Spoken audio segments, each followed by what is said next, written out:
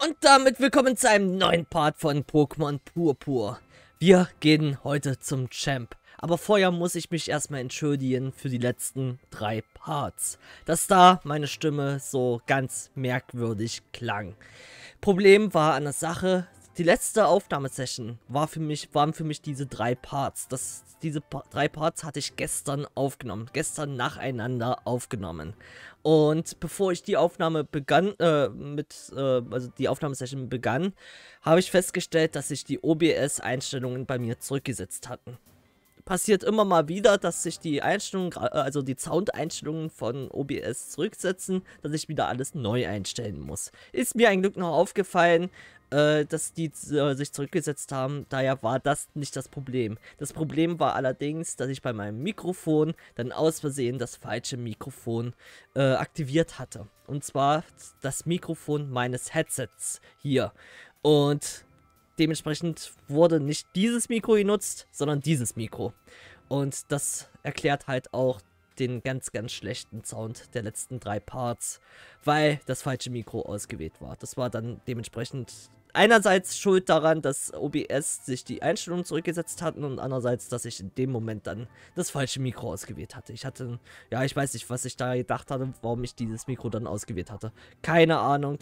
Und mir ist das erst heute Morgen im Schnitt aufgefallen. Dann im Schnitt so, was? Warum bin ich da so scheiße zu hören? Und dann, oh nein. Und habe ich direkt in OBS nachgeguckt und dann, oh nein. Oh Nein.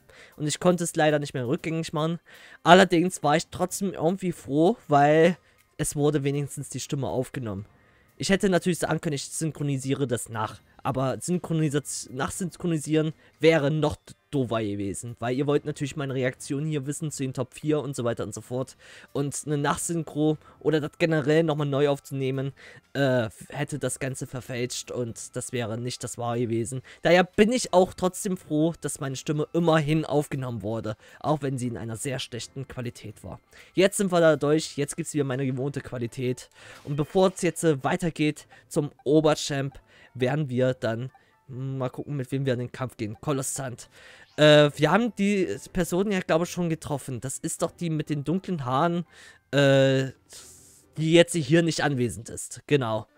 Daher gucken wir mal. Die letzte Herausforderung der Champ-Prüfung in Angriff nehmen. Genau, wollen wir, wollen wir. Das wollen wir jetzt starten. Ich bin sehr gespannt drauf.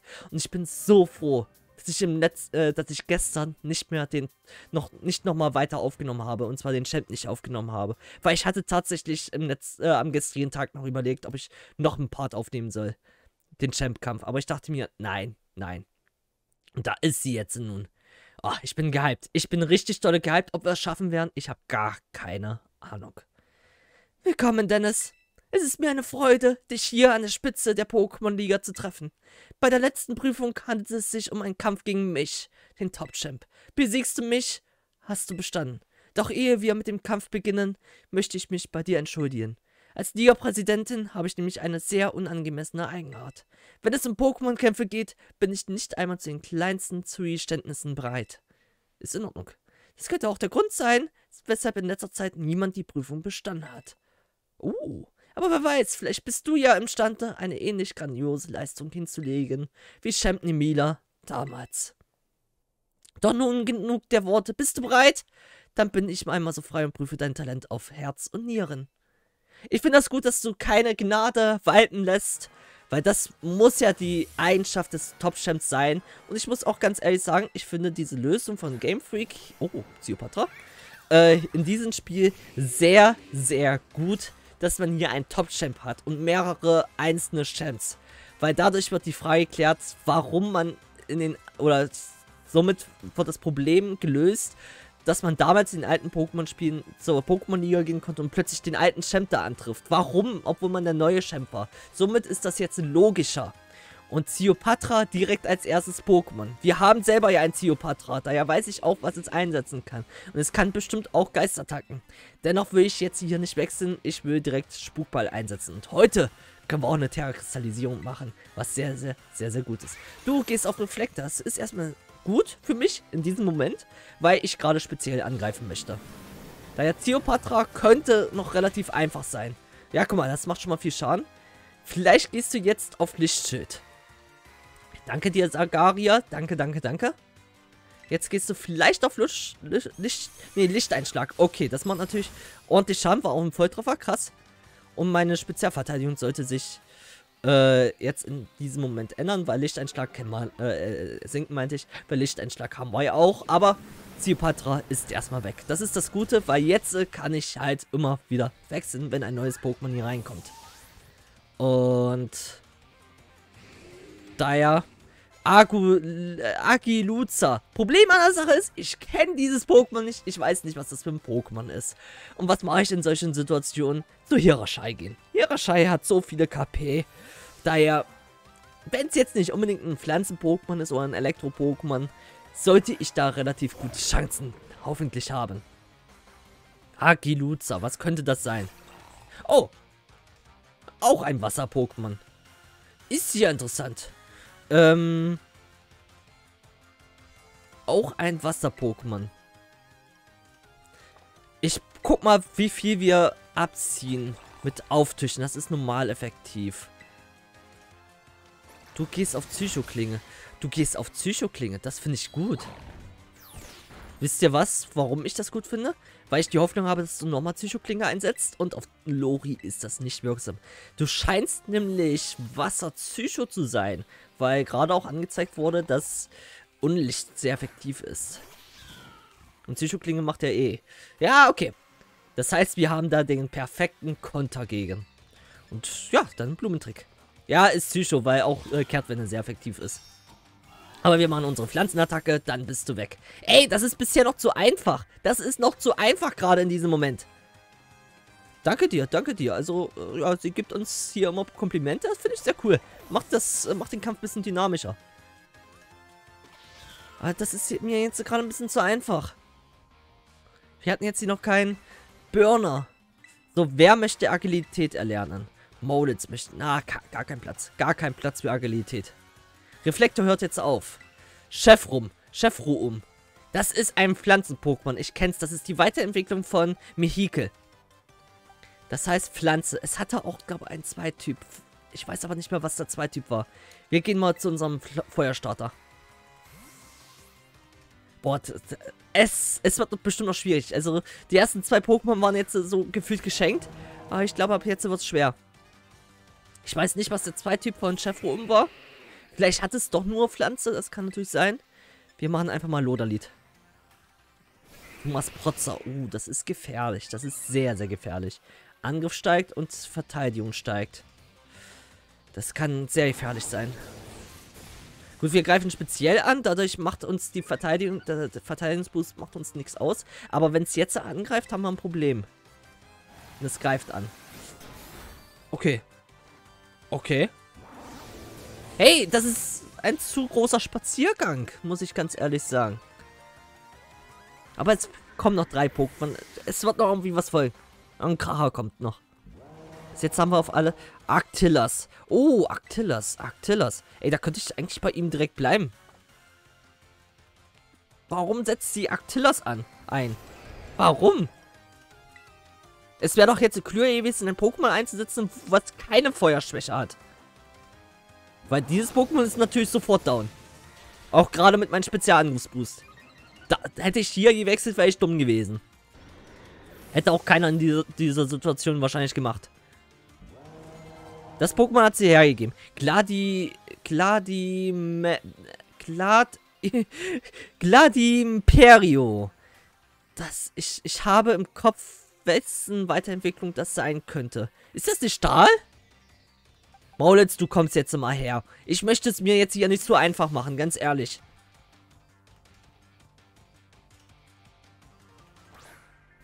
Daher wechsle ich jetzt, dass mein Spezialangriffsboost wieder weg ist. Warte, das... Könnte, ist das vielleicht... Könnte das Stahl undicht sein? Wenn ja, dann ist natürlich Nahkampf vierfach stark. Könnte möglich sein. Hey, also wir haben jetzt deutlich weniger Probleme als beim vierten der Top 4. Also ich, ich bin ein bisschen überrascht, ehrlich gesagt. Lumiflora. Wahrscheinlich ein Pflanzen-Pokémon. Okay, hat sie nur noch Pokémon, die gegen Feuer eine Schwäche haben? Das müsste ja jetzt das letzte Pokémon sein, oder nicht? Weil Flora klingt nach Pflanze. Eindeutig nach Pflanze. Das heißt, sie hat eine große Feuerschwäche. Könnte das nicht schon das letzte Pokémon sein? Nee, das vorletzte, oder? Oder? Ich weiß es jetzt nicht. Was ist das? Ist das... Das ist das letzte Pokémon. Ich weiß nicht, was das für ein Typ ist. Ich will jetzt keine Terra-Kristallisierung machen, weil ich nicht weiß, was das für ein Pokémon ist. Ich gehe auf Irrlicht. Könnte das vielleicht Wasserpflanze sein? Wenn ja, dann kommen wir mit unserem Pokémon nicht weit. Aber gut, es kommt eh eine Terra-Kristallisierung. Das heißt, es ist jetzt ein Monotyp. Was ist das? Was ist das? Boden!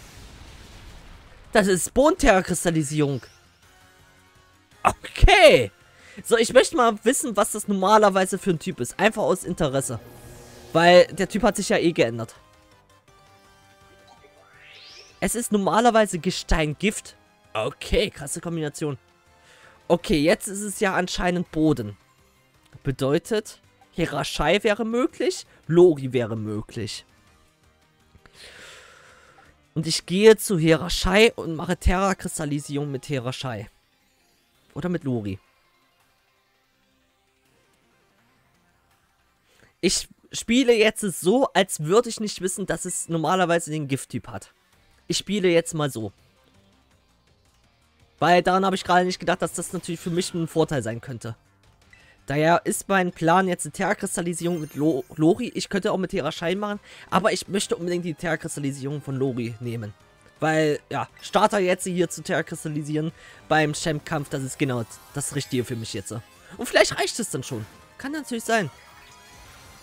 So, unsere Terra-Kristallisierung. Let's go.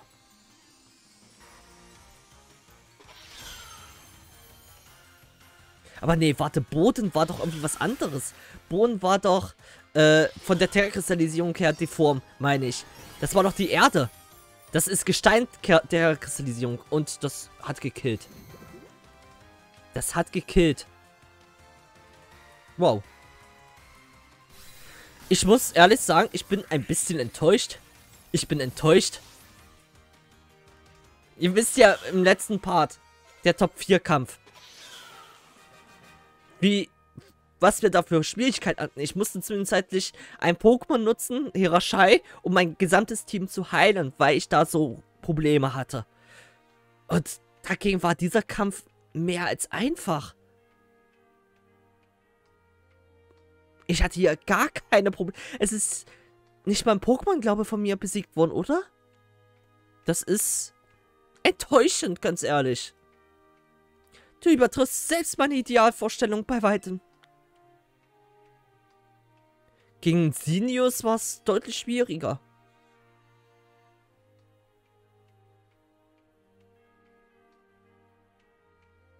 Welch beeindruckende Abfolge von Attacken, welch atemberaubende Kraft. Wer hätte gedacht, dass Paldea abermals einen solch großartigen Trainer hervorbringen würde. Herzlichen Glückwunsch, Dennis. Oder besser gesagt, Champ Dennis. Jetzt gibt's endlich wieder wirklich Grund zum Feiern. Mein herzlichen Glückwunsch. Wow, wie toll. Das ist ich geschafft. Glückwunsch. Das ist wirklich ausgezeichnet. Ich habe ein Kloß im Hals vor Rührung. Oh, jetzt fängt es schon wieder an.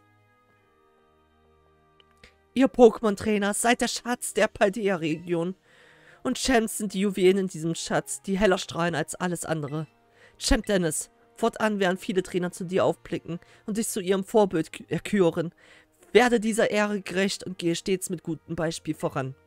Komm, ich begleite dich noch zum Ausgang. Deine Mitschüler warten sicher schon ungeduldig auf dich. Gibt's keine, äh, hier, Siegeshalle?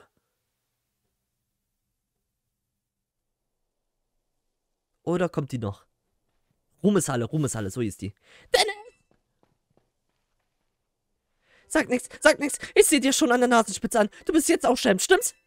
Äh, neun? Ach komm, du Verkacker, hast mich doch nur. Gibst du, du bist jetzt auch Champ, oder? neun? Sorry, aber das komme ich dir nicht ab. Los, spann mich nicht auf die Folter. Bist du nun Champ? Nein? Hast du in der Ei der Aufregung etwa die Bedeutung von Ja und Nein vergessen? Du siehst mir wirklich stark nach einem Champ aus. Nein. Nochmal mit zum Sch Mitschreiben. Du bist jetzt Champ. Ja? Nochmal zum... Du bist jetzt Champ. Oh ja, okay. das wusste ich schon. Direkt im Anschluss an deine praktische Prüfung hat mir nämlich der Top-Champ Bescheid gesagt. Ich bin Champ und du bist jetzt auch Champ. Du weißt, was das bedeutet, oder? Wir beide den Champ-Rang und sind somit... Ja, wir haben den beiden den Champ-Rang und sind somit gleich auf. Deshalb will ich ganz offiziell fragen. Werde mein... Bitte werde mein Rivale, ja? Ja. Juhu! Jawohl! Jetzt, wo wir Rivalen sind, können wir nach Herzenslust kämpfen. Lass uns gleich damit anfangen. Ich werde dir zeigen, wozu ich fähig bin, wenn ich ernst mache. Ich bitte noch um etwas Geduld, Champ Nimila. Oh, Nummer 1, gibt's da etwa ein Problem? Champ Tennis, Kolossant und die anderen Pokémon sind doch noch erschöpft von der gerade erst beendeten Champ-Prüfung. Wer ein guter Champ sein will, muss sich immer auch in sein Gegenüber hineinversetzen können. Ja, stimmt ja. Das habe ich vor Aufregung mal wieder vergessen. Bin entschuldigt, Dennis und Kolossant. Und noch etwas. Willst du euren ersten Kampf als gleichwertige Rivalen wirklich hier am Wegesrand austragen? Hältst du das für angemessen? Äh, also, jetzt sie es sagen, äh, naja. Dann lassen sie uns doch mal äh, sicher den Kampfplatz der Pokémon-Liga nutzen, ja? Hm, gibt es nicht vielleicht einen passenderen Ort, der mehr Bedeutung für euch beide hat? Mehr Bedeutung? Weißt du, was für ein Ort sie meinen könnte Dennis? Hinter deinem Haus? Haha, dort, wo wir zum ersten Mal gegeneinander gekämpft haben also. Aber wenn wir bei mir zu Hause kämpfen, wäre das für mich ja überhaupt nichts Besonderes. Hast du irgendwelche Ideen? Mesaluna City in der größten Stadt? Mesaluna City, das ist eine tolle Idee. Dort unsere, hat unsere Reise schließlich angefangen. Erinnerst du dich noch, wie Direktor Clavel meinte, dass es bei unserer freien Projektarbeit um unsere eigene, ganz eigene Schatzsuche geht? Ich glaube, ich habe meinen Schatz gefunden. Einen gleichwertigen Rivalen, gegen den ich kämpfen kann, ohne mich zurückhalten zu müssen. Sie nennt mich gerade Schatz? Uiuiuiui. Damit meine ich dich, Dennis. Dich habe ich gesucht. Wenn es dir nichts ausmacht, dann erwarte ich dich auf den Kampfplatz des Hauptplatzes in Mesalone City.